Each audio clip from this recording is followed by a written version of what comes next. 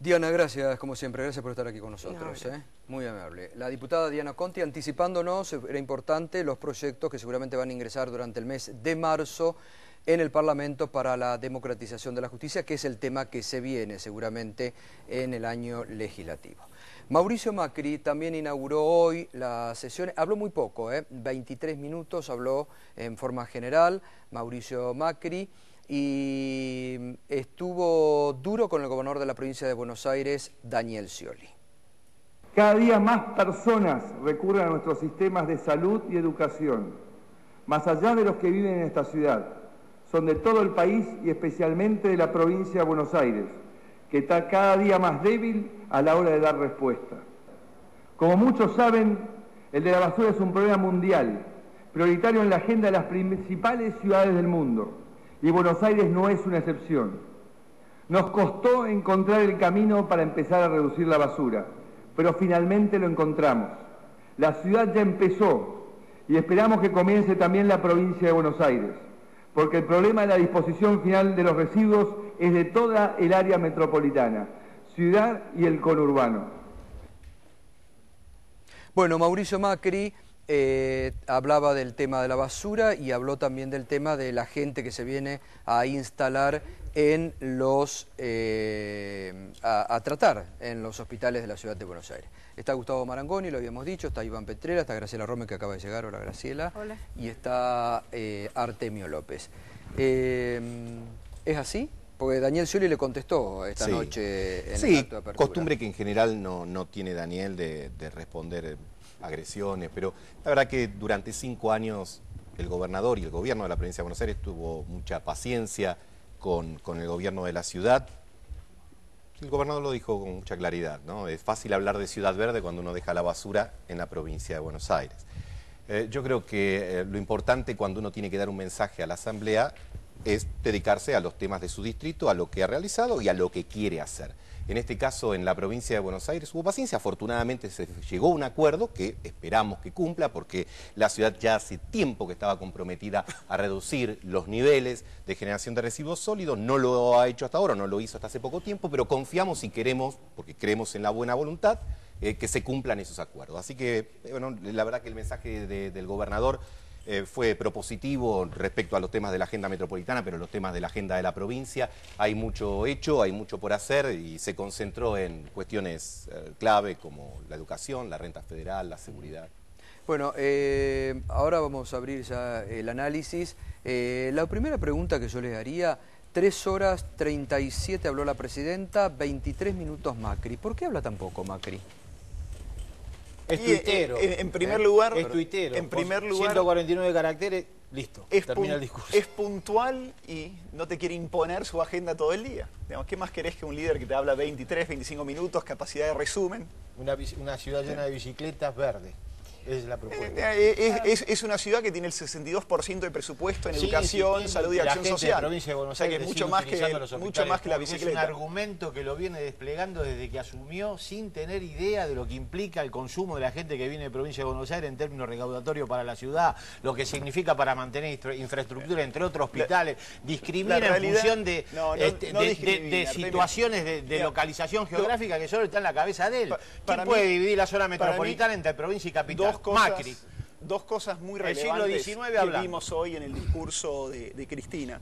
Por un lado vimos un oficialismo que sigue confundiendo el gobierno con el Estado, más aún a veces con el país. O sea, copar el Congreso con militantes que se lleva por micro, con cánticos de una marcha partidaria, con globos que atacan empresas privadas, demuestran esa confusión. Por el otro lado, vimos un oficialismo que maneja sus números, y lo digo con diplomacia, de manera engañosa. Digamos, cualquier comparación que toma como su piso el 2002 o el 2003 y que no tiene en cuenta la inflación verdadera te va a dar muy bien.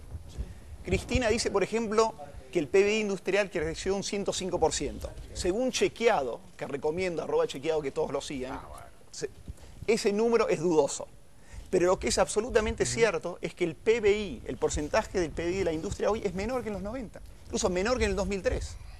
Y además Iván, vemos... Iván, me parece que hay, hay logros y hay resultados del gobierno nacional desde el 2003 hasta acá. Yo te los enumero. que son eh, este, tan contundentes y que de hecho es lo que explica que Néstor Kirchner, Cristina Kirchner y nuevamente la presidenta en el 2011 haya ganado de una manera categórica.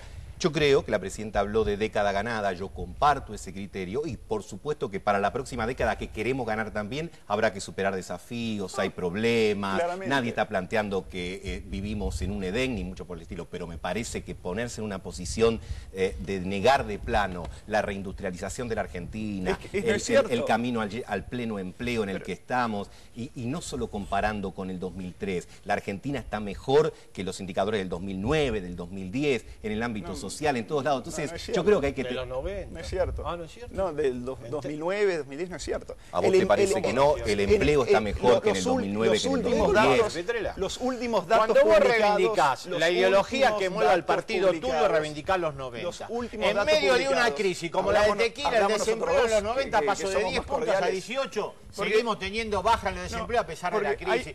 ¿De qué chequeado.com hablamos? Correr con chequeado.com, que es una consultora opositora, pero por favor, dejar hablar a vos. Es una cosa insólita. Pero hay un punto que acá se representa. En la manera de dialogar, en la manera de dialogar, también se representa el país que queremos. En la manera de dialogar también se representa el país que queremos. Y acá creo que Scioli y Mauricio tienen un punto común, que es un diálogo completamente distinto que deja hablar al otro. Para empezar. Y creo que para el, televidente es importante registrar eso también. ¿Por qué no mostramos que estamos capacitados como analistas para hacer lo que vos estás planteando? Yo te paso la posta. No, no, no, pero no, me, la, pases a mí. asumámosla entre todos. Yo creo que... Te falta decir esto no es de izquierda ni de derecha. ¿eh? Eh, ah, está de frases hechas, viejo. Hablemos en serio. Un país que tomó 54 puntos de pobreza y lo tiene. Desempobreció el equivalente. Es exactamente lo que yo venía diciendo. Este, vamos a este proceso. Vamos a dejarlo hablar a, Después de los 90, después, de la experiencia de los 90, hay que recordar. Sí.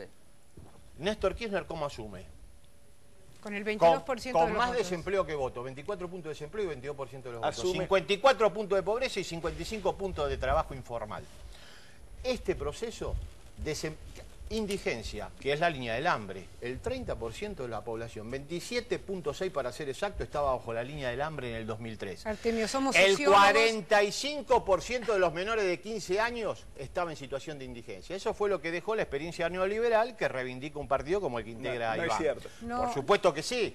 La salida del neoliberalismo nos dejó una toldería. Lo tomó Néstor y devolvió un país. Y Cristina lo profundiza. es cierto, analicen los datos del discurso y compruébenlo, bueno. chequéenlo contra institutos más o menos serios y van a observar que es absolutamente así. No, que hable, así que no, no habló todavía, por favor. No, pero si querés responderle, me está hablando a vos. No, no me hace falta, no, no, no, con él tenemos... No le dé la palabra porque no hace falta, ¿eh?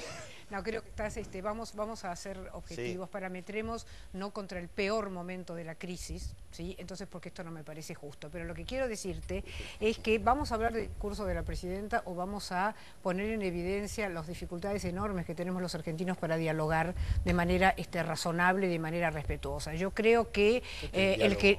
No, no, no. Es un diálogo interesante, pero dialoguemos, dialoguemos de manera también interesante y profunda. Vamos a hablar del, tema de la presidenta. Yo creo, efectivamente... ¿Qué es lo, que, es lo más fuerte del ¿Es el tema de la reforma constitucional? déjame decirte lo siguiente. Yo creo que este, este sexta, esta sexta exposición de la presidenta frente a la Asamblea Legislativa no tuvo demasiadas, em, te diría yo, sorpresas. Eh, la presidenta hizo realmente, respondió a lo que básicamente se esperaba, eh, se esperaba de ella. O sea, evidentemente hay cierta rutina, cierta rutina, ¿no es cierto?, que es un, listado de los logros existentes. A mí me hubiera gustado, a mí me hubiera gustado, digamos, una presidenta que listara los logros, pero también eh, su frustración por aquello que todavía no fue alcanzado. ¿sí? Me parece que esto es... Faltó este, el presente y el futuro decís eh, en el discurso. No, creo que además faltó futuro, pero además también faltó, digamos, de alguna manera cierta, ah, cierto criterio de realidad acerca de que estoy segura que existe en la presidenta, que, estoy, que existe, digamos, en el equipo de gobierno, en el sentido de que no todas las metas fueron logradas y fueron logradas con diferente, con diferente digamos, este, intensidad. Por lo tanto, apelar, apelar de alguna manera a la frustración por lo no logrado, me parece que es muy bueno para generar expectativas además en la gente. Eh, ¿Creen que el tema de que no va a haber reforma constitucional que puso hoy la presidenta es lo más importante tal vez del discurso? Eh, no, yo no creo. ¿Por qué? No, no creo. Creo que es un tema importante, creo que es un tema importante. Pero si era el caballito de batalla de la oposición, ¿despejó eso? Porque la gran parte de la oposición estaba hablando del tema de la reforma. Sí, pero probablemente esto haga, esto haga que de pronto la oposición pueda encontrar ejes ejes que de alguna manera sean más estimulantes, digamos, como alternativas y propuestas alternativas para, para, para, el ciudadano común. Mira, si es cierto, es una gran noticia, porque los únicos países con, con sistema presidencial y reelección indefinida son Venezuela, Argelia, Gambia y Surinam, y no creo que sea el modelo que buscamos. Al mismo tiempo, este es un gobierno que también negó hace un año y medio, dos años, estar dialogando con Irán sobre el tema de la AMIA, y resulta que hace dos años que vienen dialogando con Irán por el tema de la AMIA. Así que realmente espero que sea cierto. No sé si, si lo será realmente. Gustavo. Mira, hay un montón de temas en la agenda que ha planteado la presidenta, que ha planteado el gobernador. ¿Le crees vos que no va a ir por la reforma constitucional? Bueno, dijo la presidenta, no tengo por qué no, no creerle, al contrario. No, no, es decir, eh, yo creo que lo que sí va a haber después de las elecciones de medio mandato, y eso se va a corroborar, es la lectura de que la ciudadanía en una amplia mayoría le va a dar este, el respaldo a la continuidad del modelo que se inició en mayo del 2003. Eso no me cabe ninguna duda. las modalidades de esta continuidad yo no las puedo, no, las puedo definir hoy. reforma, digo. Bueno, las alternativas son múltiples. Exactamente, no a la reelección, pero sí a la continuidad, digamos, de un modelo y hay que ver la continuidad de modelo con qué, con qué, digamos, condicionalidades. Por eso me parece que es importante el tema de la autocrítica. Hay una fuerte demanda, digamos, es cierto, hay cierto que más allá de si la presidenta cayó o no cayó, se sostiene en, este, digamos, en, el, en, la imagen pública. Lo cierto es que hay un clima, digamos, eh, eh, de insatisfacción con algunos, algunas cuestiones que son importantes y Artemio, más allá de los datos de encuesta que vos puedas tener, es cierto que hay preocupación por el tema inseguridad, que hay preocupación por el tema inflación, digamos una, una, preocupación creciente y que de alguna manera hoy hoy en este discurso no fue planteado. Yo creo que el tema yo creo que el tema el tema doméstico no fue encarado, el tema doméstico en general no fue encarado, no fue encarado. Bueno, el gobierno está encarando políticas concretas con respecto a temas específicos. El tema precios, con un acuerdo de precios que está siendo exitoso en sus primeras despliegues, eso es evidente, más allá del señalamiento en el discurso. Y por otra parte, yo insisto, la centralidad que le asignan a los problemas los analistas, los medios, en un clima de medios particular, estamos viendo un clima de medios eh, particular, no es necesariamente la centralidad que le asigna la ciudadanía a estos mismos problemas. El tema de inseguridad está presente como principal problema desde hace décadas en Argentina y eso no altera el sistema de preferencias de manera es Eso estaba en octubre, el tema precio estaba en octubre del 2011. Todos los problemas que señalaste estaban. Yo creo que la ciudadanía efectivamente considera que esos problemas existen y luego observa frente a las alternativas que existen quién las puede resolver mejor o no. Pero la decisión, los criterios decisionales de voto, vos lo sabes muy bien, no tienen que ver solamente con los problemas, tienen que ver con los problemas y además con la alternativa, la alternativa que te ofrece el sistema político. A ver, digamos, Graciela, un minuto. Iván. No, yo iba a agregar que tal vez no son preocupaciones directas de la gente, pero como analistas y un gobierno debería apelar más allá de las preocupaciones directas de la gente. Hay que pensar estratégicamente el mediano y el largo plazo. Y la realidad es que tenemos hoy la cuarta inflación más alta del mundo. Estamos detrás de Sudán, Sudán del Sur y Bielorrusia. No, no es lo sostenible. es el desempleo y la pobreza. No, es, en, en, centralizada la inflación. Perdón, Artemio, bueno, déjame, contestar y, ahí te dejamos ver. Artemio, Artemio, somos el cuarto Artemio, país, somos el en el, tercero, en el uno de los mejores países en performance en el último trimestre publicado, en el último trimestre publicado, datos del Ministerio de Trabajo de la Nación, se destruyeron 64 mil puestos laborales no se destruyeron puestos de trabajo, se generaron menos puestos de trabajo de lo que se necesitan para tomar al, conjunto de la PEA que se incorpora El empleo creado fue empleo, público. Son datos del Ministerio de Trabajo. ¿Qué tiene que ver? Corregilos, por favor, ¿El empleo público qué es para vos? Mira, ¿No ah, no es sostenible a largo plazo. Me parece, no es sostenible a largo plazo. uno tiene que mirar la realidad en la complejidad, tiene que ver la cantidad de indicadores, pero Digo, hoy el gobernador en, su mensaje en la Asamblea habló de temas de inversión pública, habló de la necesidad de mejorar la ruta vial, no solo de la necesidad, planteó las leyes, las inversiones convocadas, el puerto de la Plata, digo, seguir pensando en cómo generar empleo. La variable más importante, el gran ordenador social de una sociedad es el empleo, es el empleo. Entonces, por lo menos ese es el, el eje, el corazón con lo que lo vemos de la provincia de Buenos Aires, lo vemos de la Nación, en la importancia de seguir apuntalando el empleo y la inclusión social. Pero ¿cuál Nadie sería puede tu negar que la, la Iván? infraestructura social, la infraestructura eh, eh, eh, inclusiva es mucho mayor que la que había. Tenemos que seguir, es mucho mayor que la que había. Tenemos que seguir este, enfocando, digamos, cómo eh, desarrollar otra década de ese crecimiento, pero con propuestas. Yo creo que a veces hay em, em, más atención en frases efectistas que en el análisis realmente efectivo que necesitamos los argentinos para crecer. Y sobre, y esta sobre todo apuntando a políticas de Estado, que ese es el otro punto, este, que me parece que... A veces que me llamó la atención, una de las cosas, las primeras cosas que hice hoy, mientras llamaba por teléfono a algunos amigos este, este, en la Cámara, decía, quiero saber si alguien de la oposición en algún momento aplaudió. Y me encontré... Se durmió de Narváez. No, no, pero eh, no- Bueno, no, yo no lo sea- vi, lo no, televisión, eso también, ¿te puedo decir algo? Eso es cierto, pero también hubo algún que otro opositor que aplaudió. Lo que sería interesante importante. es si de pronto podemos llegar, ¿no es cierto?, a una corporación legislativa que de pronto pueda respetarse lo suficientemente como para poder aceptar, sí, que más allá, más allá de la oposición y más allá de, este, de no estar de acuerdo ideológicamente, se puede de alguna manera transitar juntos para problemas que son realmente estructurales en el país. así la que se puede, y hay puntos. Afortunadamente, en este año que cumplimos 30 años de democracia, y yo coincido contigo, hay un montón de Pero puntos por de supuesto, continuidad. por supuesto. Digo, eh, eh, coincidimos todos en la integración regional, coincidimos todos en una presencia de un Estado activo, Mira, coincidimos mm. todos en el hecho de eh, haber eh, liberado a la Argentina de, de un peso, de un endeudamiento eh, eh, fatal que durante Pero todo, décadas Marangoni, se constituyó. Macri en eso no coincide. Yo creo, yo creo que hay, No, hay no, no, optimista. O sea, eso eso No, tiene que no, responderlo él. Eh, digamos, pero eh, yo creo el que hay, el modelo, el modelo de desendeudamiento Claro que lleva adelante el proyecto nacional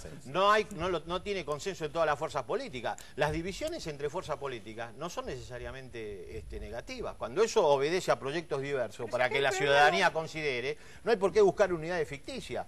Lo que planteó hoy Macri con respecto al gobernador Scioli acerca de la intervención en los hospitales públicos de lo, planteó un modelo muy diferente con respecto a provincia de. No hay unidad Ahora, posible ahí. no No, somos es que unidad, somos hablando de todos lo unidad. mismo y busquemos estamos hablando de unidad. ¿Qué Estamos consenso? hablando de ¿Cómo le consensos, buscar con diferencias, similitudes y diferencias. Yo creo Bueno, que eso hay es lo proyectos importante. Saber políticos. que en alguna cosa A ver, no puede coincidir. No, hay obviamente. proyectos hay políticos proyectos diversos. políticos diferentes. Claro. Hay pro- yo creo que el año pasado el gran eh, problema de la oposición en la Argentina fue que se trató de unir toda y no presentó alternativas diversas a la gente. Sin embargo, y la gente y no Macri han tenía... hablado muchísimas veces respecto de muchos y temas vinculados... hablar, no se puede hacer política sin hablar, eso Es estoy, plenamente de acuerdo. Como- además, cuando compartimos, eh, y, y acá El retomo del- un concepto de Artemio, la capital y la provincia tienen una, una línea política que se diferencia, me refiero geográfica, pero que en realidad estamos todos, Pero vamos, venimos, compartimos y tenemos el mismo problema ver, de espacio Gustavo, público, del riachuelo, del transporte, de la salud, ver, y lo que ¿me no permite podemos un minuto, empezar es por con favor? un clearing mezquino, hay que hablar, hay que conversar, por Me supuesto. permiten, acá Iván Petrela, no alcanzaron a escucharlo, pero dijo algo que muchas veces les achacan a ustedes. Macri y Scioli tienen más coincidencias que eh, Scioli con Cristina. ¿Dijiste eso? Me, me- me parece a mí. No, me parece yo- a mí en el estilo de liderazgo y en la visión de país a mediano plazo. Nosotros podemos opinión. sentarnos y conversar con aquellos como el PRO, con quienes tenemos diferencias y quienes, entre otras cosas, no compartimos, por supuesto, el enfoque o el balance que ellos hacen de, de estos 10 años, que nosotros obviamente lo vemos positivo, pero eso no quita que nos podemos sentar a una mesa, que podemos conversar y que, y que Marangoni, también perdón, podemos acabo de están descubrir poniendo algo. muchas palabras en mi boca. A No, yo no eh, puse ninguna. ¿Puedo decir algo, por sí, favor? por Acabo de descubrir algo que es importante. Si, eh, de acuerdo a tus palabras, Scioli y Macri, ¿no es cierto? O Macri y Scioli tienen coincidencias, y Scioli tiene coincidencias con la señora presidenta, esto quiere decir, por carácter transitivo, como Que Macri tiene coincidencias. efectivamente con, con la señora Sí, pero presidenta. seguramente Con lo yo quiero pensar, yo quiero pero Graciela, yo quiero pensar que en, Pero- en el universo del PRO deben eh, evaluar negativas alguna cosa del gobierno nacional y me imagino que deben encontrar cosas positivas. Quiero pensarlo, ¿no? Porque Vos, Artemio, ¿qué pensás? No, no, yo pienso que son dos proyectos que no tienen ningún punto, el de Macri y el de el Frente para la Victoria, que encarna Cristina Kirchner, no tiene ningún punto ¿Y de de coincidencia esencial.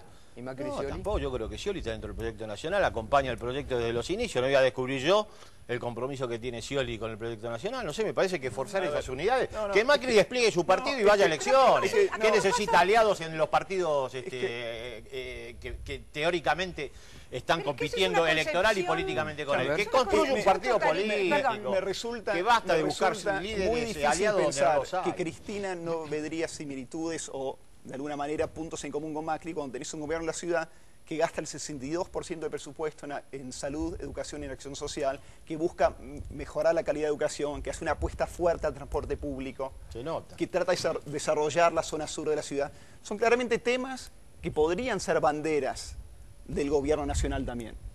O sea que no, veo esa cosa. Lo que, sí, lo que sí quiero resaltar, lo que sí quiero resaltar es que hay que ver la realidad correctamente. Y creo que esto es parte de lo que vos decías de la falta de autocrítica a veces. Es que hay cosas bastante básicas del país hoy en día en que no se está viendo o interpretando o queriendo admitir la realidad correctamente. y para trabajar todos a futuro hay que hacer eh, eso. Me sorprende también de escucharlos a ustedes, ¿eh? Eh, a los cuatro e incluso al propio Artemio, eh, yo vuelvo sobre un tema que a mí, como analista, me pareció que eh, políticamente es el hecho más destacado, eh, que es el que la presidenta negó la posibilidad de reforma. Porque esto era lo que le venían reclamando los partidos políticos de la oposición, que se defina si era sí o no. Y me parece que como que lo tiran abajo a un tema que me parece que políticamente fuerte. Me parece que es importante, pero no es, un, no es un tema tan absolutamente central, este es el tema. Pero, en, cambio los partidos políticos lo planteaban como central, iba a ser un poco el eje de campaña de muchos partidos políticos. Y obligará, obligará de alguna manera a cambiar el eje, me parece que esto es sano además, porque esto eh, de pronto, de pronto permite efectivamente eh, pensar en coaliciones o en alianzas electorales centradas básicamente en cuestiones más genuinas y más de este, contenidos de políticas públicas, sino en términos de, digamos, reelección sí, reelección no. ¿Le allana el camino a Daniel Scioli en la candidatura del 2015 esta definición de la presidenta? Ah, yo creo que eh, en su momento se harán las primarias abiertas y obligatorias y todos los que eh, quieran competir lo harán. Daniel fue claro en su momento, dijo lo que sentía eh, para decir y actúa como siempre en su vida política, sin hipocresía, con mucha sinceridad y hoy está comprometido en esto que es gobernar la provincia de Buenos Aires y seguir colaborando y, uniendo esfuerzos con el gobierno nacional, con los municipios para resolver un montón de temas, que es de lo que habló en el mensaje de la Asamblea Legislativa de hoy, de la seguridad, de la educación, de la infraestructura, de argentinos a las cosas, de, esa cosa que tiene Daniel de comprometerse con el ¿Se sintieron aludidos en algún momento cuando la presidenta dijo que era responsabilidad de los gobiernos el tema de la pauta salarial de los docentes y de administrar las provincias de cada territorio? Pero, ¿cómo no nos vamos a sentir positivamente aludidos? Mira, en cinco años de administración de Daniel, ¿sabes cuánto aumentaron los eh, salarios docentes? El 290%. Para este año estamos planteando que podemos aumentar. Otro año, otros años los aumentamos un poco más de lo que aumentaban el piso a nivel nacional. Este año el esfuerzo a lo mejor va a llegar hasta ahí. ¿Por qué? Porque queremos ser responsables, no queremos este, prometer más de lo que podemos cumplir, mm, reconocemos que ya la estructura eh, impositiva en la provincia de Buenos Aires está a lo que nosotros consideramos un nivel razonable de progresividad, no correspondería eh, eh, mm, subir nuevos impuestos. ¿Y qué queremos ser? Prudentes, serios, y le estamos diciendo a los docentes y a todos que el gobierno de la provincia de Buenos Aires va a hacer lo que pueda hacer y no va a comprometer la responsabilidad fiscal y política que tiene. Quiero volver un poquito atrás a tu pregunta, si esto le facilita o no le facilita, digamos, a Scioli, digamos, su posicionamiento respecto del 2015. ¿Vos te acordás que ya hace tiempo, desde esta misma, este mismo programa, en mi columna, cuando lanza Scioli su candidatura, yo dije, me acuerdo sentada en aquella mesa, de alguna manera ese lanzamiento fue, de alguna manera, respuesta a una presión, una presión realmente del sistema político. Eh, eh, eh, hubo una encerrona en la cual, digamos, Scioli no pudo, no pudo no, no, definir realmente, fue llevado a esa situación. Vuelvo a decirte, si esto va a facilitarle o no, va a depender mucho también ¿sí? de qué condiciones de contexto se creen en relación a este tema. ¿no? Yo, Entonces, les puedo asegurar, y, no, me imagino que el tema que eh, quieren a veces conversar mucho es ese, pero hay un gobernador que en lo que está obsesionado es ver cómo se normaliza el ciclo escolar en la provincia de Buenos Aires. Y yo creo que él sabe, él sabe que la gente, que los 4 millones y medio de pibes que tienen que ir a la escuela de lunes a viernes, que los 350 mil docentes y que la sociedad quiere que se concentre en eso y por eso está pensando en eso ¿eh? como eh, eh, la, verdad, la verdadera buena política que se tiene que hacer en la provincia. No, yo pensé que jamás diría esto en mi vida, pero Artemio está muy callado, entonces quería... No, estoy escuchando porque me interesa la opinión y me interesa poder escuchar opiniones distintas. Mi perspectiva es que lo que va a quedar claro en las elecciones de medio mandato va a ser que efectivamente un conjunto importante de la ciudadanía le va a querer dar continuidad al proyecto que se inició en mayo del 2003, pero muy voluminoso. Yo pienso que una estructura de distribución de preferencia que va a ser contundente. La forma en que esa continuidad este, se resuelva, bueno, no lo podemos establecer hoy, pero eso me parece lo más importante y central eh, a tener en cuenta. Bueno, eh, hubo un blue